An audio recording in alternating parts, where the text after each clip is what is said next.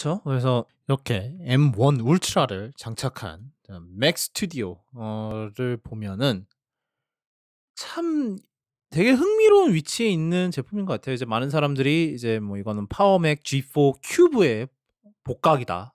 돌아온 거다.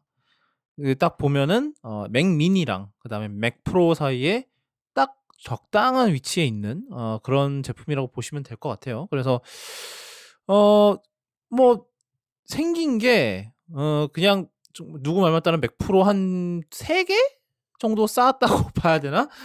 얘기를 음. 어, 맥 프로 3개 정도 쌓고 그다음에 사실 그 부- 늘어난 부분 안을 보면은 죄다 팬이에요. 그 이제 냉각 장치가 되게 크게 돼 있고 어 그래서 아래에서 공기를 빨아들여서 거기서 팬을 돌려서 이제 뒤로 빼는 어 구조로 돼 있어서 뒤에는 구멍이 숭숭숭숭 뚫려 있고 그다음에 밑에 아주 포트 대잔치가 벌어져 있고 어 썬더볼트 4 포트 4개 그다음에 이더넷 10gigabit 이더넷이 기본으로 주- 들어가고요. 여- 여태까지는 막 뭐 아이맥 프로 아이맥 프로도 아이맥 프로도 기본이었나?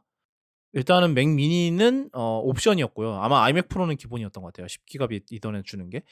그다음에 어 USB A 포트 2개, HDMI 2.0 그러니까 2.1 아 몰라 이제 뭐라고 해야 됩니까? 저 땅콩이 님. 아 HDMI요? 저거 2.0이에요. 2.0인데 새로운 기준에 따르면 뭐 2.1이던가 뭘던가. 아, 예. 그래요. 그냥 2.0이라고 칩시다. 예, 뭐 옛날 이- 옛날에 2.0이라 불리던 물건입니다. 그래서 4K 60까지는 될 거예요, 아마. 그러고 어 앞에는 뭐 이건 사양에 따라 달라지긴 하지만 뭐 하여튼 USB-C 포트 두 개가 들어 있고 그다음에 SD 카드 슬롯이 앞으로 배치가 돼 있어요. 그래서 뭐 훨씬 쓰기 편하죠. 뭐 아이맥 같은 경우는 SD 카드 슬롯이 뒤에 있어서 꽂을 때마다 뒤로 이렇게 봐야 되는데 어 얘는 그냥 앞에서 그냥 쭉 꽂으면 돼요. 굉장히 편한 위치에 있고 뭐 하나 아쉬운 거 헤드폰 포트도 앞으로 했으면 좋았을 것 같은데라는 생각이 들기는 합니다. 아 물론 이제 제 생각에는 이게 아마 스피커에다가 꽂을 거를 생각을 해서 뒤에다가 해놓은 건가 싶기도 하고 그런데 뭐 헤드폰을 하실 거면 앞으로 헤드폰을 자주 꽂는다면 앞으로 놓는 게 더 나을 수도 있다라는 뭐 그런 주장도 있고 그리고 제 생각에는 USB A 포트를 앞 하나 정도는 앞으로 빼주는 게 좋지 않았을까 싶기는 한데 뭐 그거 빼고는 네 대부분 다 그- 그렇고 어, 이, 여기에는 기본이 M1 Max가 들어가고 그 다음에 저 그 상위 모델로 M1 울트라를 넣을 수 있습니다. 배치를 할 수 있어요. 그래서 아까 앞에 말씀드린 이제 앞에 있는 USB-C 포트가 M1 Max 버전이면 그냥 일반 USB-C, 뭐 USB 3.2 Gen 2 이겠죠. 뭐 그렇고 그 다음에 M1 울트라가 되면은 거기 앞에도 다 썬더볼트 4가 된다고 합니다. 그렇고 그다음에 M1 울트라 버전 같은 경우는 어, 쪽한 1kg 정도 더 무겁다고 해요. 그 이유가 어, 안에 이제 heatsink가 저 방열판이 어, 구리로 만들어진답니다. 저 M1 맥스 버전은 알루미늄으로 방열판을 만드는데 그래서 구리가 알루미늄보다 더 무거운지라 어, 기, 그 그것도 가- 다 같이 무, 기, 무게가 무거워진다고 하더라고요. 뭐랄까 제가 만약에 이제 그냥 맥북 프로 하나만으로 살아야지라는 생각을 안 했으면 아마 얘를 데스크톱으로 들였을 것 같아요. 근데 이제 물, 물론 어, 뭐 지금 지금 제가 이제 맥북 프로를 M1 프로로 했던 거랑 어, 비슷한 맥락이지만 아마 M1 맥스는 저한테 좀 overkill이었을 가능성이 좀 있긴 한데 그래서 그런 생각이 들더라고요. M1 프로를가 들어간 맥 스튜디오를 내놔도 되지 않았을까? 물론 이제 좀 프로세스 프로세서 선택지가 굉장히 넓어지긴 하겠지만 M1 프로가 들어간 데스크톱이 지금 없잖아요. 그냥.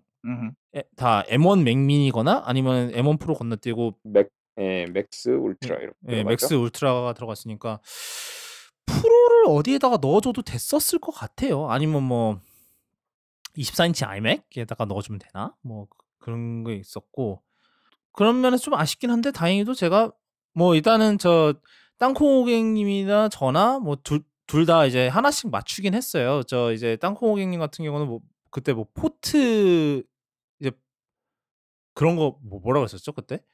아, 그 포트 제한 때문에 좀 짜증 나가지고 업그레이드 생각하다가 맥스까지 올라와 버렸다고? 아 뭐 네. 그랬었는데 근데 이제 아무래도 그 어느 정도 증명이 된 것 같아요. 그 맥스 버전 맥스가 이제 M1 프로보다 일단 포 아무래도 뭐 이제 SoC 이제 프로세서 자체가 더 크다 보니까 아무래도 맥북 프로보다는 좀 더 포트 selection이 더 넓어진 거? 제 생각에는 뭐 아무래도 M1 Max로 시작한 거 덕분에 이제 아무래도 대역폭이 더 늘어난 것 같고 그 말인즉슨 M1 Max 버전의 이제 맥북 프로는 모든 포트 대역폭을 다 쓰고 있지는 않다라는 거 같, 안, 아는 것 같아요. 뭐 이제 M1 맥북 프로랑 비교했을 때 어, 썬더볼트 4 포트를 하나 더 주고요. 거기에다가 USB 사실상 4개를 더 넣어준 거죠. 어떻게 보면 USB 3.2 Gen 머시기 포트를 왜냐면 USB A 두 개가 있고 앞에 USB C 두 개가 있으니까 총 4개를 더 넣어준 거고 그러니까 대역폭이 더 있었죠. 어떻게 보면 M1 프로의 두 배인 거니까 M1 Max가 그러니까 더 있었는데 뭐 다양한 이유로 어 그냥 똑같이 포트 배치는 해준 거고 그리고 저는 가격이 1999부터 시작할 것 같다고 했는데 진짜로 1999부터 시작해요. 발표 와 저걸 맞췄어 내가 이랬는데 저 그간의 애플 무당질이 좀 완전 헛발은 아니었나 봐. 뭐 하여튼 그래서 우리나라에서는 269만 원부터 시작을 하고 그 다음에 이제 M1 Max 버전 아니 M1 울트라는 3999부터 시작을 하니까 우리나라에서 한 530만 원부터 시작을 하는 것 같은데 물론 이제 저 밑에 이제 M1 Max에서 그 이게 뭐냐면은 그 이제 이 530만 원짜리 버전은 이제 1테라 SSD를 주거든요. 그런데 이제 원하면은 512 SSD가 들어간 버전을 해서 조금 더 싸게 할 수는 있어요. 이제 뭐 한 27만 원 정도 더 싸게 할 수 있는데 뭐 네. 추천은 안 합니다. 예, 512는 조금 운용 이제는 운용 그뭐 특히 이제 맥 스튜디오 정도 급의 그거를 구매를 하시면 용도가 있으신 거잖아요.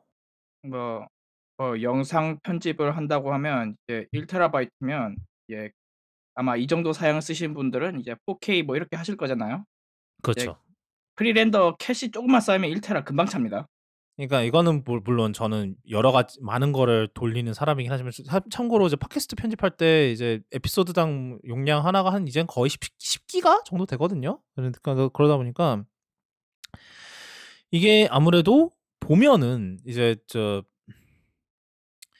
아무래도 뭐 저도 그래서 512로는 좀 부족하다 싶더라고요. 그래서 이제 1테 이번에 맥 프로 살 때 조금 무리해서 1테라로 했고요. 1테라에 32기가였고 그다음에 뭐 다행히도 이제 회사에서 새로 지급받은 아이맥도 어뭐 1테라긴 한데 그 그래서 그러니까 좀 내가 맥에서 좀 그런 용량이 많이 들어가는 그런 걸 많이 하신다라고 하면은 사실 1테라는 거의 기본이 되지 않을까 싶어요. 물론 아직도 128기가짜리 SSD로 잘 사는 분들도 몇몇 간혹 보입니다만 나 어떻게 하는지 모르겠지만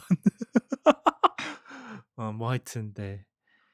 좀 일단은 또 우- 저희 블루님 또 오셨고 하니까 그 다음에 이제 우리 모두 또 합- 해봅시다. 저 어, 각자의 사양 게임을 한번 해봅시다. 어, 일단은 저 저 저 저 누구야 저 티덤님부터 해봅시다. 물론 이미 맥민이 가지고 계시긴 한데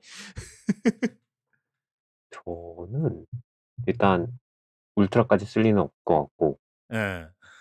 어, 일단 맥스를 택하고 예. 그 다음에 맥스에서 또 여러 가지 옵션이 있어요 맥스에서도. 그쵸 16 16코어 그 뭐야 GPU는 24코어 기본이 24코어였죠. 예, 예 그렇죠. 그렇죠. 네. 예. 근데 그거는 왠지 어, 기분이 허락하지 않아서 예. 어, 예. 아 그 기분 알아. 예. 기왕 내가- 사는 거 약간 이런 거죠. 그쵸 기왕 사는데 아, 그리고 또- 참고로 맥 스튜디오는 모든 M1 맥과 똑같이 업그레이드가 안 됩니다. 처음에 잘 고르셔야 돼요. 참고로. 네 그쵸 어 그런데 여기다가 또 업그레이드 옵션을 보니까 가격이 또 이게 아, 어, 그렇죠. 또 떨떨하죠. 그렇죠. 얘네들이 아주 네. 죽여주죠. 그죠.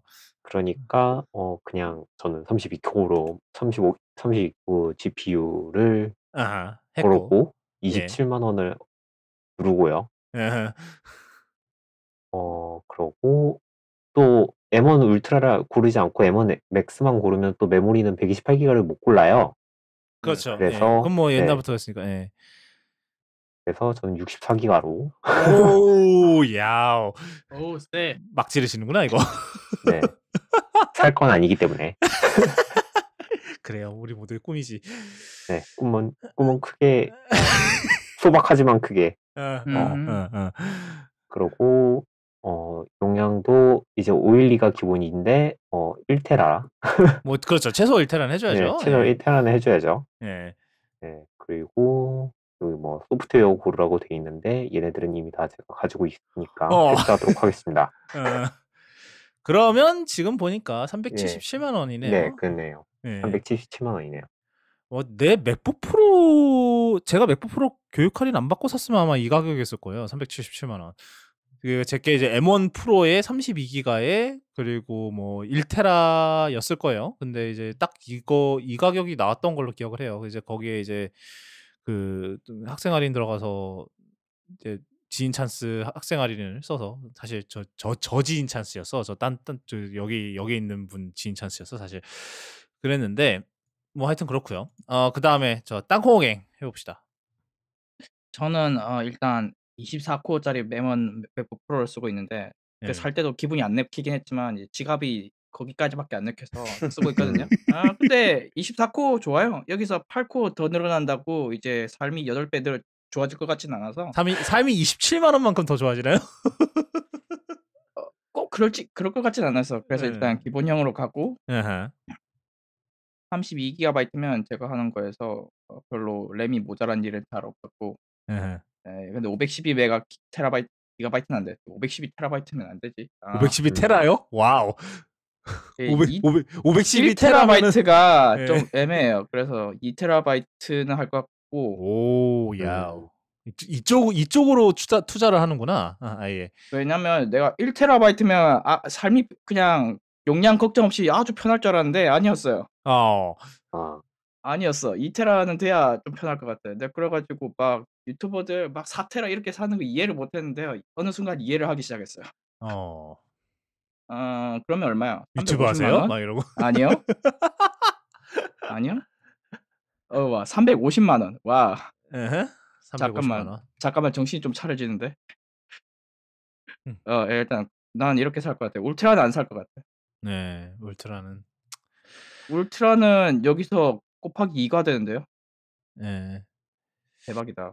저도 어 해 보죠. 일단은 블루님을 맨 마지막으로 두고 저는 에, 야, 이게 참 그렇죠. 저도 M1 울트라를 할 것 같지는 않은데 M1 맥스를 아 저도 그래요. 뭐 저도 24 정도가 좋 적당할 것 같아요. 뭐 지금 사실 M1 프로에 지금 M1 프로도 사실 제가 CPU 우선 구성을 했거든요. 그래서 10코어에 16 아니 14코어 GPU예요. 근데 지금 GPU 부족하지가 않아요. 그래서 어 M1 맥스 14 24코어 하면 될 것 같고 메모리 아 메모리가 음 그래도 데스크톱인데 64를 하고 사실 댕- 굉장히 과분하거든요. 저 지금 32기가 메모리짜리 맥북 프로도 어, swap이 100메가밖에 안 돼요.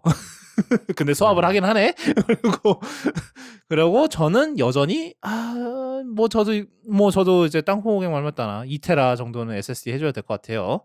그래서 404만 원이 나옵니다. 400만 원 넘었네. 씨. 그렇습니다. 아마 메모리 넣은 게 critical이 아닐까 막 이런 생각이 들기는 하는데, 에 그러네요. 자 마지막으로 저희 예, 블루님, 블루님이 궁, 그러니까 블루님은 두 가지를 하시면 될 것 같아요. 저 추천 사양이랑 그 다음에 직접 사양. 나는 본인이 그러니까 결제하신 사양. 예, 개인 결제하셨나? 음, 개인 욕심 사양이라 그러지. 어, 일단 저는 그, 뭐, 당연히 제 개인 사양부터 말씀드리면, 어, M1 울트라 20 코어 CPU, 64코어 GPU로 가고요. 오, 끝 오. 끝까지 간다. 야우.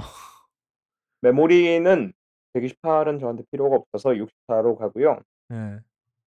저장 장치 제가 지금 맥북 프로도 2테라 쓰고 있으니까 2테라로 가면 728만 원에 끝나네요. 오. 야우. 아 잠깐만. 옛날에는 그러니까 그 그게 있었거든요. M1 울트라를 사면은 저 예, 예, 예. M1 울트라를 하면 512기가 SSD를 선택할 수 있었던 것 같은데 이제는 선택을 못 하네. 예, 최소 1테라부터 선택 가능하게 아. 그러면은 뭐 음, 그러면 그 옵션 아 20, 아까 그 27만 원 더 싸게 살 수 있다는 말은 거의 취, 취소하는 거네.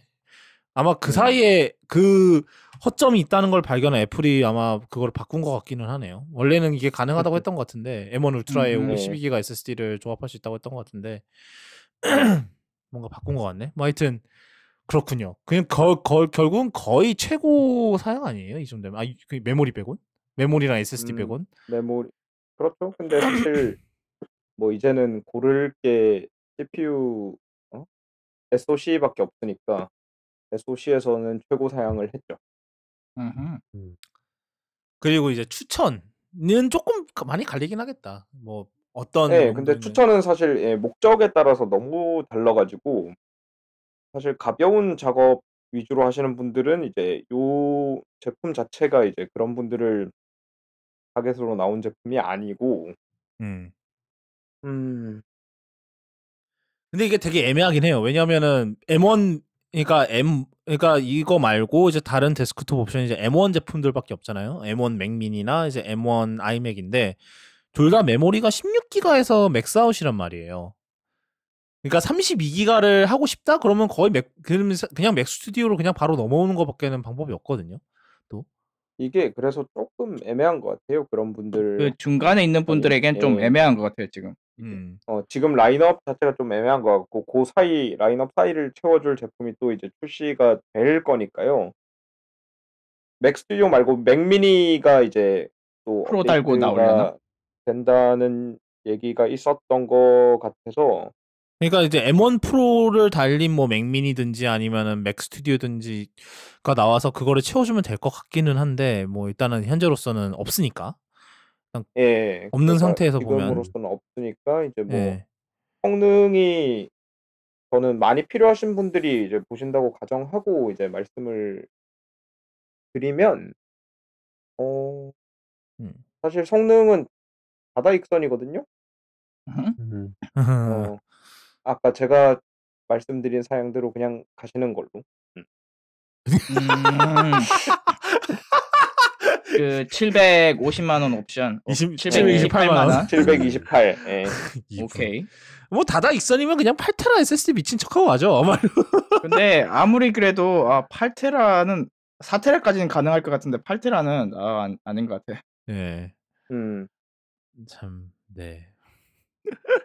그렇습니다. 이게 2테라에서 4테라까지는 막 얼마 얼마야? 130만 원인데 여기서 또 4테라 하면은 160만 원이 뛰어버려 가지고 음. 가성비가 영 안 좋아요.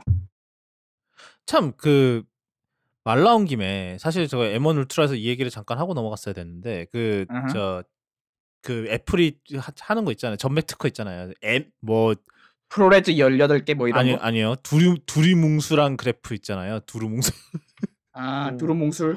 대체 뭔 뜻인지 모르겠는 그래프. 거기에 보면은 이제 또 또 꽤 꽤나 이제 엄청난 주장을 해놨던데 어떻게 생각하세요? 그거에 대해서? 아, 그 인텔 12세대 12900보다 뭐 12900K랑 비교를 했고 CPU는 저 GPU는 아, 네. 저 RTX 3090이랑 비교를 했고 막 이랬는데 사실 뭐 CPU 같은 경우에는 멀 그러니까 멀티코어 성능이고요. 일단 뭐 그렇죠. 어, 예. 당연하지만 예, 멀티코어 성능이고 멀티코어 성능에서는 저 그래프가 크게 틀린 그래프라고 보이진 않고요. 예. GPU 같은 경우에는 사실 이제 좀 약을 친 것 같아요.